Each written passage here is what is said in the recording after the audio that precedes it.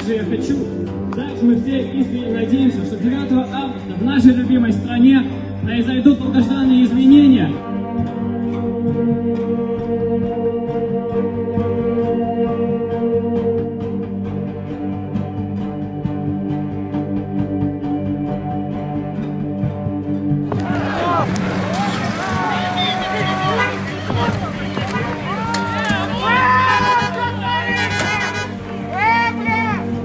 В семье очень популярен Сергей Тихановский, нас очень беспокоит его судьба. И, ну, очень не нравится вся эта ситуация. И вот частично в его поддержку. Он так за нас всех старается.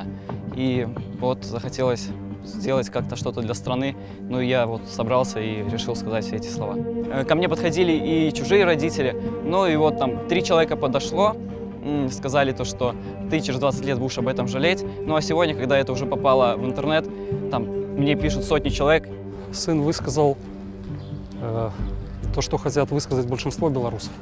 Люди пишут, все подтрымливают, говорят, что если э, у тебя будут проблемы, мы тебе поможем, мы- ты, мы тебе юристов м, найдем.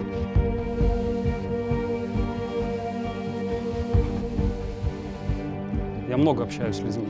Чую то, что все чуют, что треба змены. Все хотят перемен, все хотят жить лучше. Что может отбыться, мы все видим, э, мы все видим, что отбывается.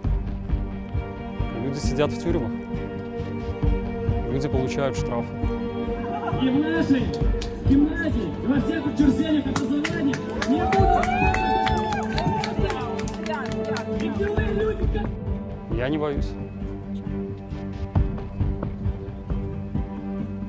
Попис боятся.